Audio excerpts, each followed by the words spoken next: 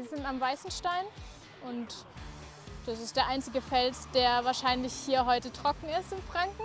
Ich mache heute den Workshop von der Halle an den Fels.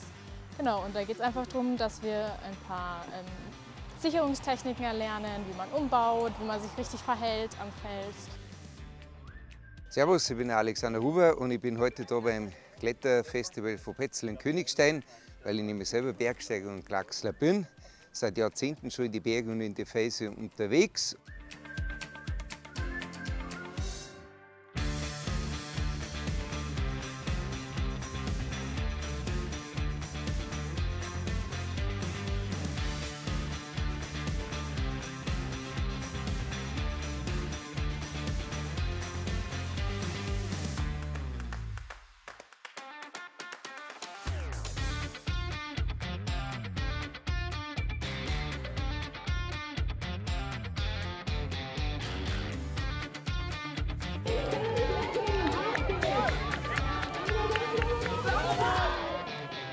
Ich bin der Anton Weiß.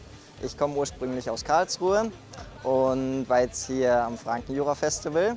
Und ich finde es super cool, diesen Deep Water Boulder.